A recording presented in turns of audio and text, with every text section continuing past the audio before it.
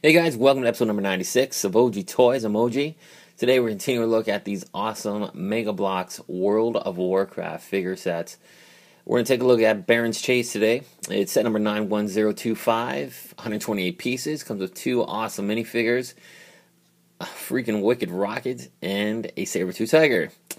Yeah, it's an awesome looking set, very uh, Sword and Fantasy, Pride to the Extreme. This World of Warcraft stuff by Mega Bloks has absolutely been amazing. They've been just smashing it right out of the ballpark every time. Every set I've bought has been phenomenal. So when I saw this set, I thought for sure it's going to be another awesome one. Well, was it? Kind of was. Kind of missed the mark on a couple of spots. But for the most part, this is an amazing set. Let's take a close look at the first figure. His name is Tanavar. He's a night elf warrior. He's a very cool looking guy. One of the uh, most recognizable figures next to some of the uh, orcs and the blood elves. For a guy who doesn't know anything about World of Warcraft, I instantaneously knew, oh yeah, I've seen that guy before. Uh, from the comic books, I believe, from um, Wildstorm and DC Comics, and of course some of the commercials. You just see these guys, and of course DC Direct, DC Unlimited back then made um, a huge amount of World of Warcraft figures, but they weren't really figures. They were more or less statues that had no articulation, which kind of sucked because they were pretty cool. But uh, I can't remember if they made this guy. I know for sure they made Severin, one of the Blood Elves, was just an awesome looking character. But that's for another time. I'm rambling. Let's take a look at the Tanavar figure and your get your general impressions of this guy. General impressions. Wow. Detailed, awesome paint job, great color scheme. Just another fantastic Mega Bloks figure. Tons of detail in the armor, and of course, not a single paint smudge, a line that's messed up. He just looks awesome. I love the scheme on this guy. The burgundy bodysuits, you got the gunmetal gray and the gold accents all throughout the armor, with the pale skin tone, the dark hair, and even this cool purple sword is pretty darn cool. Let's take a closer look at this. Now it's supposed to be like a crystal energy sword, and uh, at first I was like, man, they didn't even paint it. Then you kind of realize, okay, if you put it up to the light, you know, you can shine a bit more light onto it, and it kind of has that crystal energy. So it's pretty cool. It's interesting for sure, and uh, just plugs right into the back here. He does have this extra peg that's completely removable, and uh, you can put his figure, the figure's weapon, or any weapon really, right into there and just plug it into the back where there's that hole. Now, speaking of the figure, the articulation on this guy, we'll go over that. He does have a ball joint in the uh, the arm shoulder area. He's got a pivot right in the elbow, 360 on the wrist. He has waist articulation. Mine's really tight, which is great. He does have ball jointed legs. You can get those in some pretty good poses.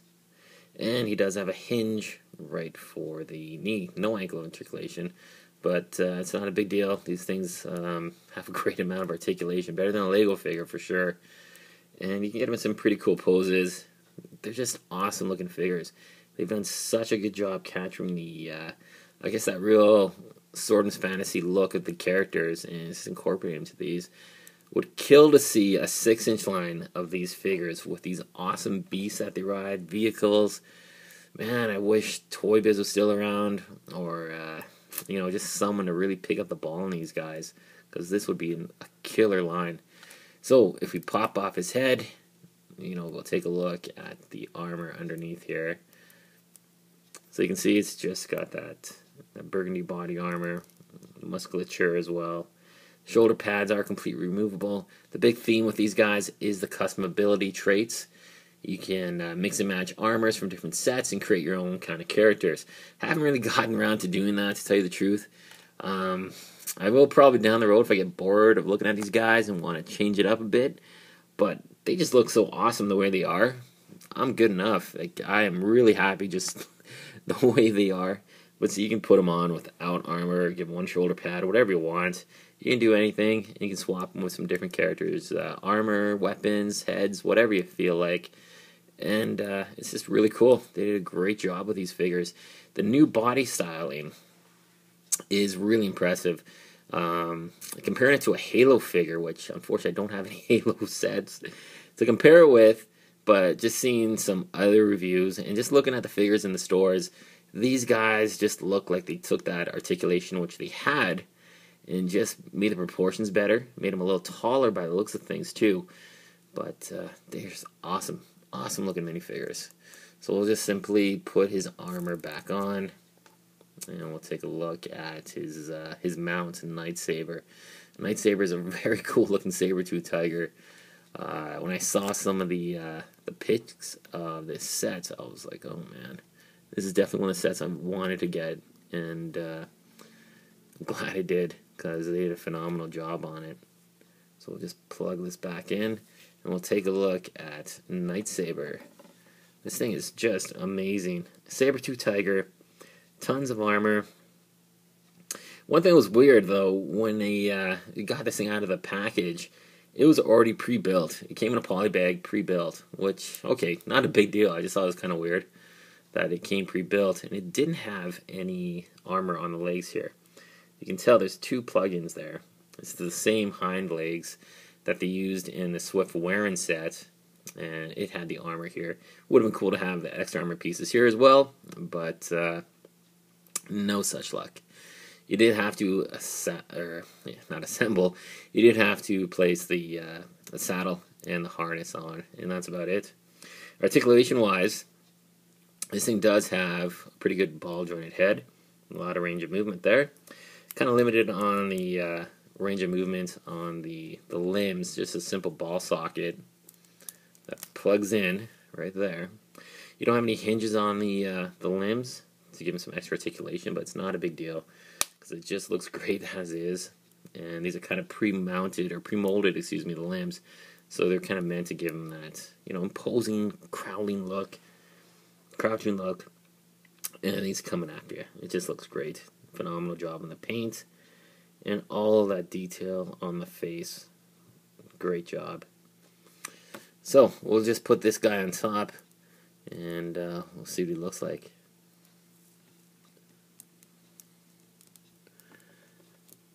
Alright, so just get him in there. And there you go. Very cool.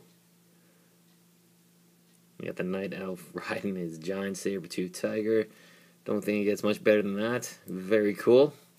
Now we'll take a look at the other figure. Now this guy's name is Dragath. These names are killer. God.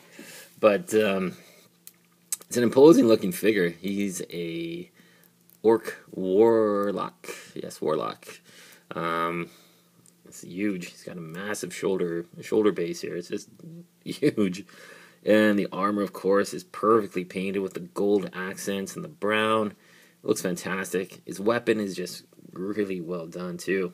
A lot of detail on the edges as well. The diamond here in the top mm, just looks great. They did a fantastic paint job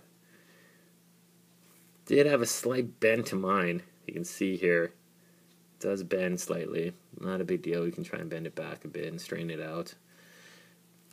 Again, with this guy, you know, armor can completely come off. I'll just show you what it looks like underneath. You know, very uh, good paint job underneath. I love this metallic color. It looks fantastic. And it's cool that they don't cheap out and just give it a no paint job or anything like that. Like I guess this is the way the uh, the tone of the plastic is molded and painted, but it just looks great. You can tell this is, you know, definitely has a good quality to it. You know, I've heard some of the Mega Bloks stuff in the past was not the best uh, quality, so to speak. And this figure definitely has some really nice features, good accents, and uh, it's a good quality figure, without a doubt. It doesn't have any articulation in the leg, though. His legs just ball joint. That's about it. He doesn't have the bend in the knee because of the long robes, which you know, not a big deal to me. He looks cool just the way he is, and I like the way the robe is one piece with the leg, and it doesn't you know interfere with really any articulation because he can still move his legs around. So that's cool. Big, big, big, big, big guy. Very bad looking orc. Very cool.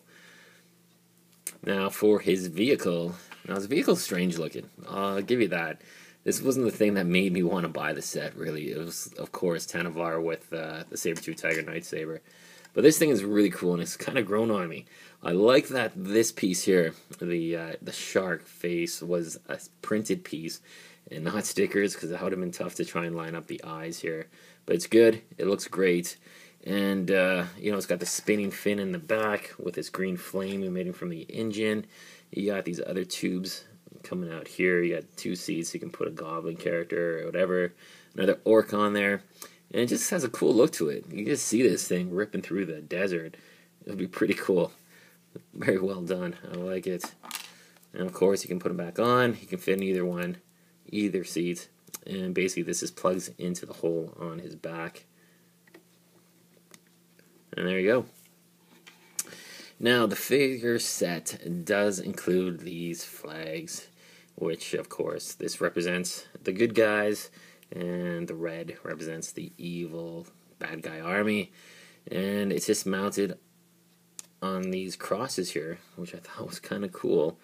It's um, an interesting piece. I haven't seen anything like this, even in Lego, with this kind of uh, structure of the long pole and these pieces here to mount objects onto, or bricks, excuse me.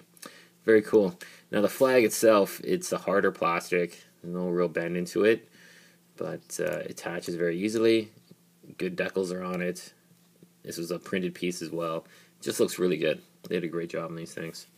So there you go, guys. Now, the weapon. Let's get to that. The mystery weapon this thing came with does come with a sealed poly bag with a bunch of question marks on it, so you don't know what you're getting. And I'm not sure if everyone else gets the exact same weapon or it's different weapons randomly inserted. So do leave a comment at the bottom if you have this set. It's which weapon did you get? I got this one here. It's like a green mace, I guess. It's just a, a clobbering stick. I'm gonna call it something like that. But it's green and it's got a couple spikes on the top and the bottom.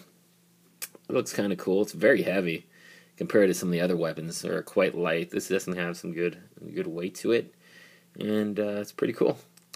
The instructions, you know, it's pretty basic build. It took me less than you know probably like five minutes to build this thing, but you got a picture of the guys on the on the front. What I thought was really cool is it's like Lord of the Rings did. They have all the figures pictured that are available I like the way they did this. They have all the characters. You know, it was cool to see. You got the on the far end here. You got your blood elves, Severin and Valoran, and then you got this goblin guy, Pitts. It's kind of cool. And then you have another goblin right beside him. Now, of course, they're the same race, so okay, they can kind of look the same, but the armor is different, which is good. And then you got these two guys up here. You know, Scarbuck and Lighthoof. And Lighthoof looks like one of the most detailed characters, right next to Valoran for paint apps, and it just looks phenomenal. He comes with that huge Zeppelin, a Goblin Zeppelin, which I'm definitely going to be picking up soon. And of course, you got this guy here. His name is Artath. Um, I don't know how to say it. Arhath probably butchering it, and I'm sure millions of people know how to say it, but I don't. I'm sorry. Um, the Lich King that comes with that huge dragon, and it looks phenomenal. His weapon looks fantastic. And then you got a couple of the uh, good guys here. It's all the bad guys. Your good guys. You know, it's funny. Colton and Markov have the exact same face sculpts with just a repaint on the hair. I kind of would have liked to have seen this guy repainted or a new face for him for sure. But it kind of sucks. You got your elves here, your night elves, which again, each one is distinct looking. It looks great. I really like Dark Howl. He comes with the Zeppelin as well. And you got Graven and Varian Warren. Varian Warren, I believe he's the knight. This guy here. And again, amazing sword. Very cool looking figure. Just some great stuff. Um, man, these minifigures are probably the highlight of this set. They do a fantastic job on them. So there you go, guys. Thanks very much for watching. Rate, comment, subscribe. Let me know what you think. We got more Mega Bloks reviews and more other interesting, cool reviews coming shortly. Thanks for watching, guys. Bye.